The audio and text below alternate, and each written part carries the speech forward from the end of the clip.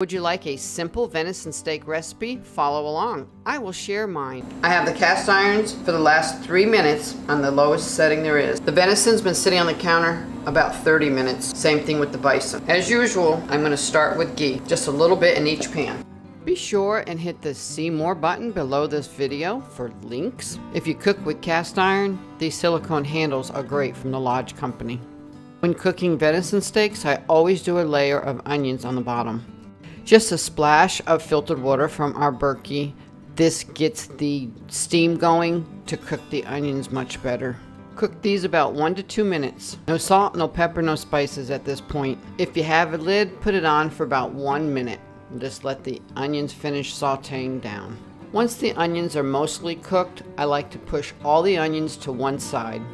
Add one of your steaks, move the onions around, and add another steak. To make room for the last steak, put the onions right on top. Add the last steak and optional blood. We add it. It makes a great gravy, but you don't have to.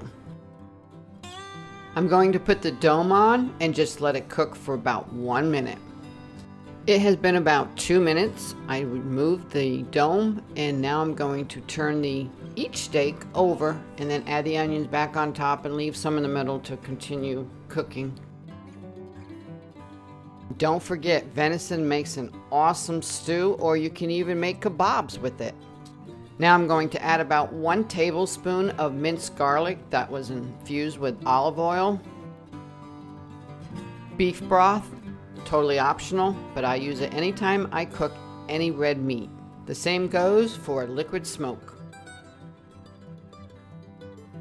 Just a dusting of garam masala. I'll leave the link below how you can make your own.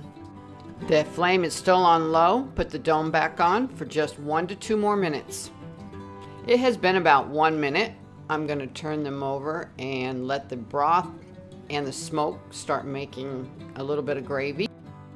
We love venison, onions, a little bit of gravy, and we put it over egg noodles, and that whole dinner is complete. You can add a little bit of sour cream, makes it super easy.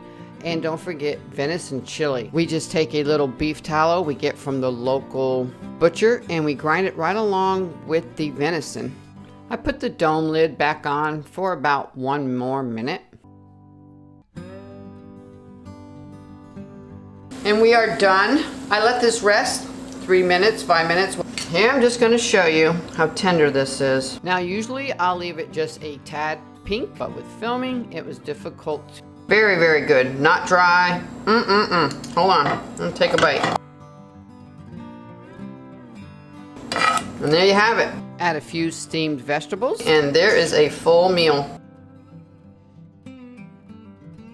Thank you for watching. Please subscribe, Please share on social media, hit the bell, all bell notification, and we'll see you on the next video.